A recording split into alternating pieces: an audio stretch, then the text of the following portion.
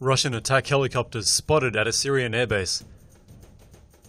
US officials have told Reuters that a number of Russian aircraft have been spotted in Syria as part of Russia's continued military buildup at an airbase on Syria's western coast. US officials said two Russian Mi 24 Hind helicopters and two Mi 17 Hip helicopters were spotted on the tarmac at an airbase in Syria's Latakia province.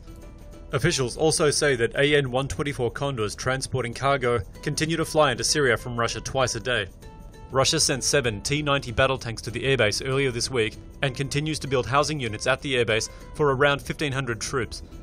A Russian cargo ship docked in nearby Tartus has also reportedly brought around 15 artillery pieces and 35 armoured personnel carriers into Syria. US Secretary of State John Kerry has asked his Russian counterpart to clarify the intent behind the military buildup and warned that Russia's continued support for Syrian President Bashar al Assad risks extending the current bloody conflict.